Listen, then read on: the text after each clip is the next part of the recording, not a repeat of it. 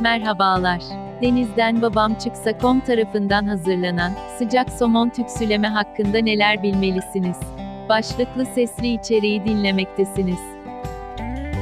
Bu podcast Denizden Babam Çıksa.com'un dijital çağa uygun şekilde genişleyen yeni içerik formatlarından birisidir ve dinlemekte olduğunuz başlık dahil olmak üzere tüm sesli içeriğimize Denizden Babam Çıksa.com adresinden ulaşabilirsiniz keyifle dinlemenizi arzu eder. Podcast ile ilgili tüm görüş, düşünce, öneri, istek ve diğer içerik geliştirme taleplerinizi info.denizdenbabamçıksa.com adresine bildirmenizden mutluluk duyarız. Yayınımıza başlamadan önce hatırlatmak istediğimiz bir konu var. Denizden babam çıksa komu daha iyi bir hale getirebilmemiz ve içeriklerimizi oluştururken motivasyonumuzu yüksek tutmamız için desteklerinizi beklemekteyiz. Hosting ve domain giderleri başta olmak üzere, su ürünleri tüketimini olumlu yönde iyileştirmek için hazırlamak istediğimiz içerikleri doğru kanallarda tanıtabilmemiz adına, gerekli materyallere desteğiniz harika olur.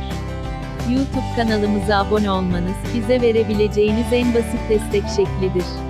Bize nasıl destek olacağınızı öğrenmek için denizdenbabamçıksa.com adresini ziyaret edebilir ya da info.denizdenbabamçıksa.com adresine elektronik posta yollayabilirsiniz.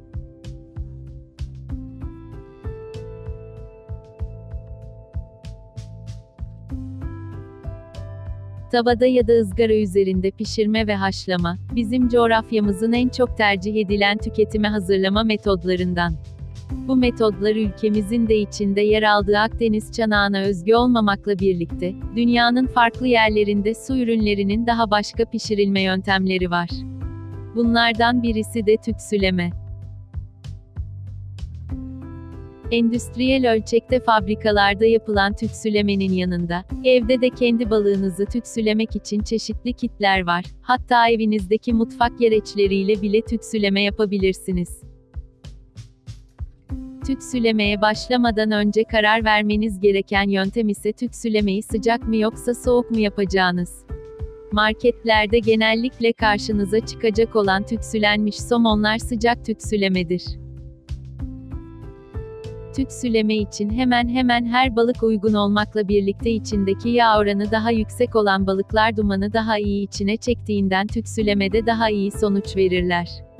Bu yöntemde, balıklar bütün olarak işleme tabi tutulabilmekle birlikte daha küçük parçalarda ya da fileto olarak da tütsülenebilirler. Balık tütsüleme konusunda sizi bilgi sahibi yapacak olan 7 başlık nedir?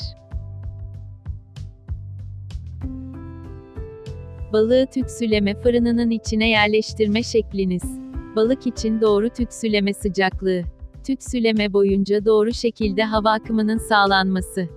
Tütsüleme odunlarının kullanılması. Balık ne zaman hazır olur? Balığın iç sıcaklığını kontrol etme. Balığı tütsülemeden sonra dinlendirme. Balığı tütsüleme fırını içine nasıl yerleştirirsiniz? Balık tütsüleme fırını içine daima derisi odunlara bakacak şekilde yerleştirilir. Bu, balık etinin direkt olarak duman ile temas etmesini önleyerek hem aşırı ısınmasını hem de kurumasını ve etin dağılmasını önler.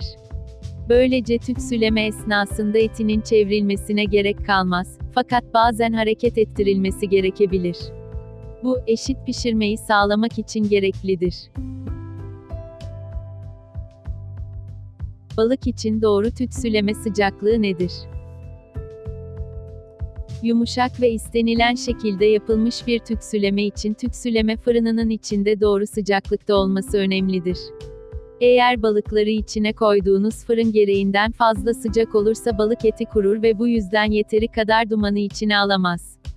Düzensiz pişmeye bağlı olarak da etin üzerinde beyaz lekeli bir görüntü oluşur. 200 derece civarındaki bir fırında tütsüleme yapılırken hassas balıkların etindeki tüm nemin uçması sağlanabilir. Balığın etinin yüzeyinde ise yarı akışkan ve beyaz bir katman göreceksiniz. Bu, tütsüleme sıcaklığının fazla olduğuna dair yalancı bir belirtidir. Doğru sıcaklıklarda yapılan tütsüleme esnasında balığın yüzeyi parlak ve kuru kalır. Eğer yine de balığın etinin yüzeyinde damlacıklar görüyorsanız onları kuru bir havlu ile silerek uzaklaştırabilirsiniz. Tütsüleme esnasında hava akışının sağlanması. Tütsüleme sırasında hava akışı balık etini kuru tutmaya yarar ve nemin daha kolay buharlaşmasını sağlar. Tütsüleme fırınlarının tümünde, içerideki sıcak havanın fırının içinde dolaştıktan sonra yükselerek çıkıp gideceği delikler vardır. Bu deliklerin büyük olduğu kaplar kullanın ve sıcaklığı ayarlamak içinse alt taraftaki deliklerin genişliğini ayarlayın. Elektrikle çalışan tütsü fırınlarının çoğunda havalandırma deliği yoktur.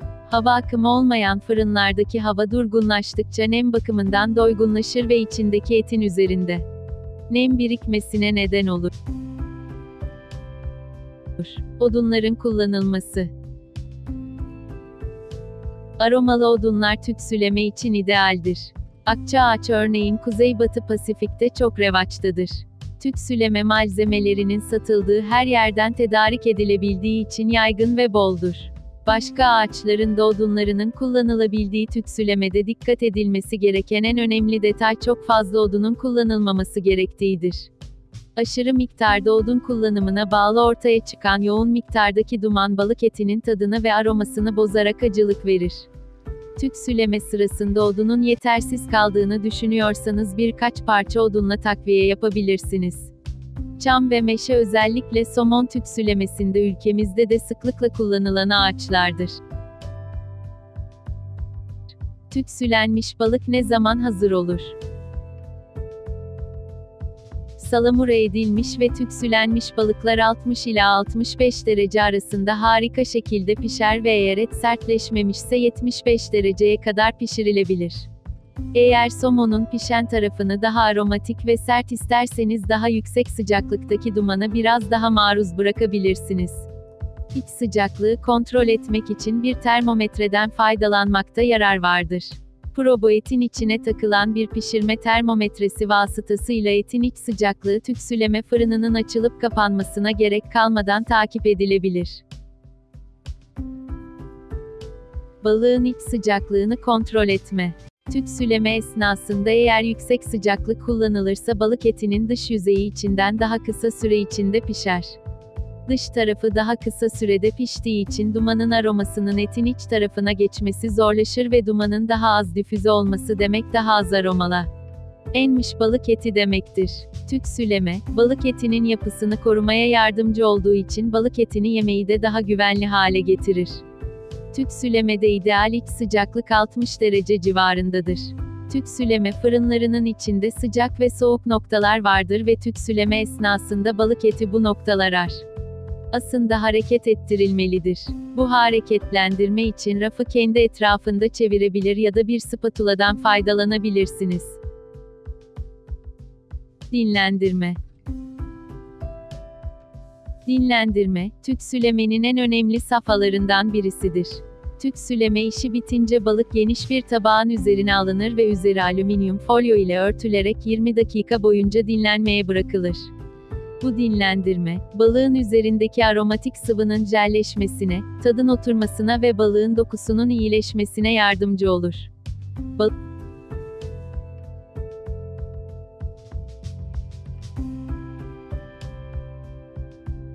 balık tütsülemeye başlamadan önce sahip olmanız gereken başlıca ürünler şunlar. Tütsüleyici, balığı içine atıp altına doğdunları atacağınız bir tütsüleme fırını, etrafı duman kokusuna bulamadan tütsüleme yapmak için doğru bir araçtır. Odundan çıkan dumanın yayılmasını engellediği gibi o dumanın olması gerektiği yere, yani balığın etine direkt olarak geçmesini kolaylaştırır, hızlandırır ve daha verimli kılar. Eğer bir tütsüleme fırınınız yoksa bir ızgaranın üzerine büyük bir tencere kapatarak da kendi tütsüleme fırınınızı yapabilir siniz. Tütsüleme fırınına dair bilmeniz gereken tek şey fırının sıcaklığı ve sıcaklığın kontrol edilebilirliği. Odun, tütsüleyerek işlemenin temelinde ağaç gövdesindeki ya da kabuklarındaki aromatik bileşiklerin balığın etine geçirilmesi vardır. Bunun içinse doğru miktarda ve doğru ağaçlardan elde edilmiş odunlarla talaşlara ihtiyaç vardır. Damak tadınıza göre farklı ağaçlardan elde edilmiş odunları kullanabilmekle birlikte somon tütsülemesinde balığın etine en çok yakıştırılan ağaçlar. kara ağaç, akça ağaç, çam ve meşedir. Ayrıca kiraz ve elma gibi meyve ağaçlarının da odunları tütsülemede kullanılmaktadır. Tuz, biraz kaya tuzunun tütsülemede kullanılması, tadın balık etine hapsedilmesini kolaylaştırır. Normal sofra tuzları iyodür içerdiğinden ve topaklamayı önlediğinden tütsülemede pek tercih edilmezler. Tatlı bir şeyler, özellikle somona tatlı iyi gider. Somonu tatlandırmak içinse yoğun tatlardan faydalanabilirsiniz. Amerika ve Kanada gibi ülkelerde yaygın olduğundan akça ağaç ve huş ağacı şurubu kullanılmaktadır fakat bizim bu taraflarda, bal da işinizi görecektir. Ayrıca tütsülemenin ardından balığın etinin üzerine çıtır bir doku oluşturmak ve göze hoş görünen bir rengi yakalamak için kahverengi şekerde kullanılabilir.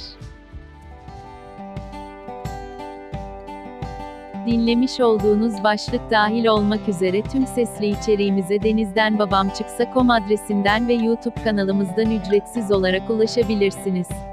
Göstermiş olduğunuz ilgiye teşekkür eder bir sonraki yayında görüşmek ümidiyle esenlikler dileriz.